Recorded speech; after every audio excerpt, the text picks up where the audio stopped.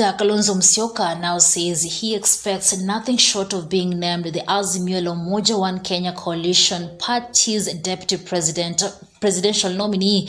The Wiper Party leader says he has enough experience having served as vice president and Raila Odinga's running mate in two election cycles and will therefore not subject himself to any vetting set up by the coalition, even though the panel has opted to vacate the idea of physical interviews for Raila Odinga's running mate hopefuls. The possibility of subjecting Wiper leader Kalonzo Musyoka to the process continues to elicit mixed reactions, with Kalonzo coming out to state his stand.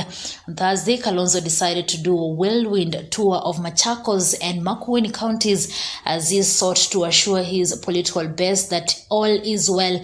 The Wiper Party leader, gun blazing, accused those keen on subjecting him to a running mate vetting process of seeking to undermine him. Kalonzo said his experience in government as a vice president, being Raila Odinga's running mate for two elections, and the backing of the Ukambani vote is an edge over any other hopeful. Kalonzo has also dismissed his new newfound defenders in the Deputy President William Ruto-led Kenya Kwanza coalition, claiming he was keen on upsetting Ruto's presidential ambitions.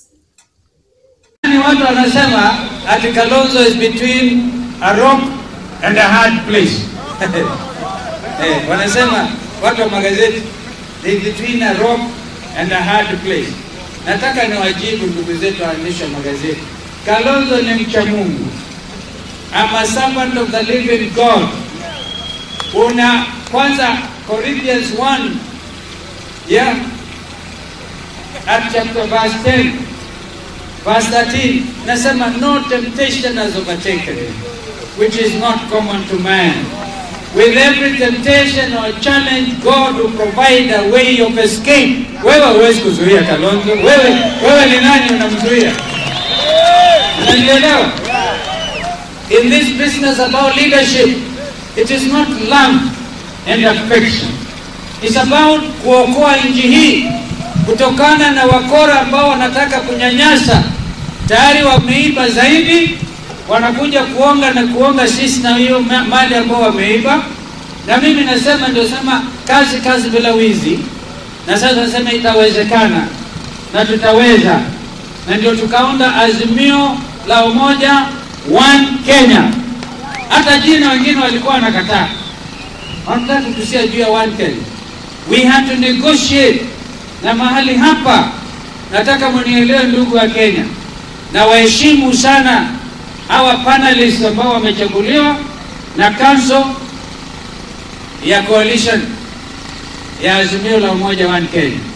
Mwenyekiti wake ni mheshimiwa ndugu yangu uhuru kenyatta ndugu yangu raila odinga the presidential candidate na mimi ni memba na wale wengine. Tulipochagua hapa nilisema wazi isiwe msione kama kenya ni amerika haiwezekani. Kenya ni kenya yaani unaenda kufanyia kalonzo interview. Awe naibu wa raila. Alama imeemuka hapo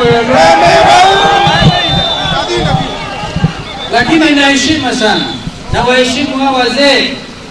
Na waheshimu sana. Wasione kama mimi ni mtu ambaye ni mgaidi ni mtu mwenye kiburi. La kamwe. Mimi katika maumbile yangu sina kiburi na sina temperament ya aina hiyo. Lakini wananchi wenyewe ndio wanasema kalonzo amekuwa vice president wa kibaki miaka mitano.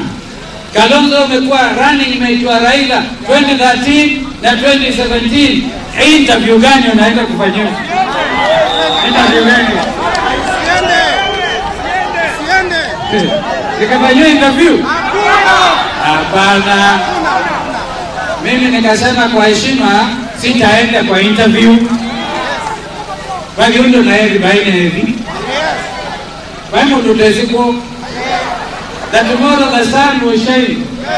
Yani this is not the end of the matter lakini nimeamua hawa wengine wanaofanyiwa interview nataka mmoja ajitokeza aliseme alikuwa tayari kuwa president 2022 na akamwondokea raila kama mimi.